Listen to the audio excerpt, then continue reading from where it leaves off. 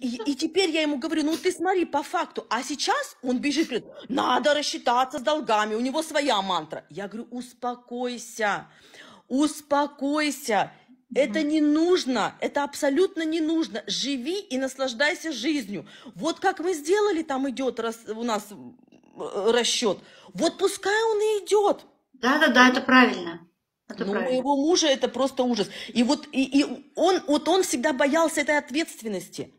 Говорит, как ты не можешь понять, я ответственный за нашу семью, и если вдруг что-то будет, да, эм, я не смогу вот это все содержать. Я говорю, господи, чего ты боишься? Мы же это гешафт. Мгм. А у меня было так. Я всегда... Алла, слышите меня, да? Да, да, да, да.